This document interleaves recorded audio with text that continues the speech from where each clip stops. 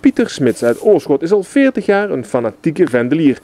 Hij heeft 80 prijzen in de kast en afgelopen zondag werd hij voor de 11e keer Brabants kampioen vendelzwaaien.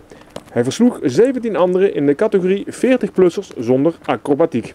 De kampioenschappen worden alleen in Brabant gehouden, dus eigenlijk is hij gewoon Nederlands kampioen. Speciaal voor de camera van EDTV geeft de kerstverse Nederlands kampioen een demonstratie vendelzwaaien.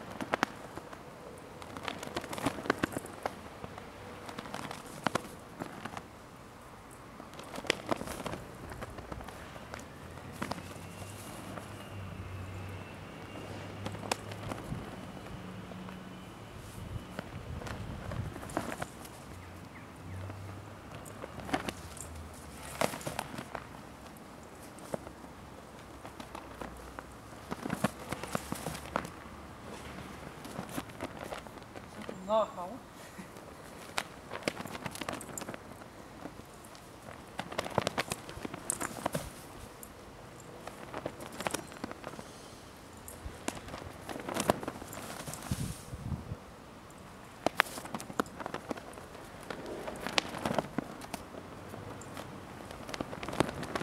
Ben de genoeg.